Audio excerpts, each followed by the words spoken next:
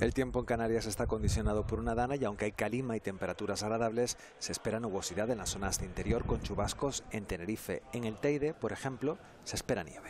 Previsión de viento, si tenemos para mañana, mañana puede que a mediodía suba un poco el viento y, y eso es lo que tenemos. En La Palma, escepticismo ante el posible cambio de tiempo. Y al sol se está increíble, no tiene ninguna pinta de que nieve. Yo voy ahora mismo para la playa. Yo te digo, a nadar un rato, porque puf, Desde que nos baja un poquito la temperatura, nos tullimos rápido. El sur de Gran Canaria con viento y en Tejeda presencia de calima, pero a la sombra la sensación térmica es de mucho frío. Cal- fresquito, pero está bueno el día también.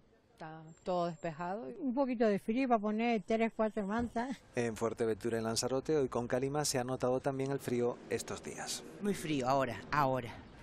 Sí, bastante. Y se nota un poquito algún cuarteo en las manitas y esas cosas. Frío, no se ve el sol.